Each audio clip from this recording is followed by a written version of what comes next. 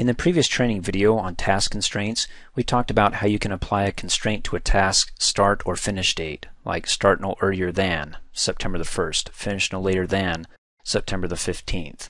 When you do that, you limit the flexibility of your project. But again, we already discussed that. If you still want something to indicate of when you're supposed to finish a task by, just a little icon, but that it won't affect your scheduling, you can use what are called task deadlines. And a deadline can only be applied to one task at a time.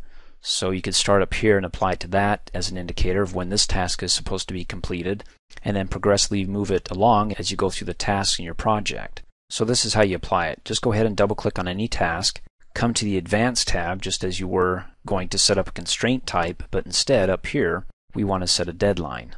Go ahead and type over that. In fact, this task is supposed to be completed by September the 19th. Let's say that our deadline was supposed to be September the 15th of 08 and hit enter. Well, a couple of things happen. First of all, over here in the entry table, we got a little red diamond, an indicator that tells us that the task finishes on the 19th, which is later than the deadline of the 15th. That's nice that we got an indicator. Again, it's just a warning. It doesn't affect the scheduling. So you can go ahead and change the duration days, add resources, which we'll cover later. The more resources we add to a task, the more workers, then the earlier that task is supposedly finished or completed by. It doesn't affect it at all, just a little indicator. Also, you got another indicator over here in the Gantt chart, little green arrow. You can see it's right here on this day and that the task goes beyond it. You can hover over it. Again, it tells you the deadline of September the 15th.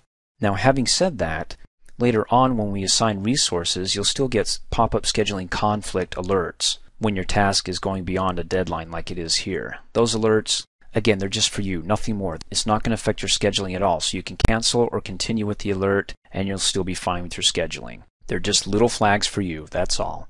Now to get rid of your flags, you can come over here, of course double click on it, go to the Advanced tab, and again, delete that and type in the letters NA for not applicable, click OK, and it'll disappear.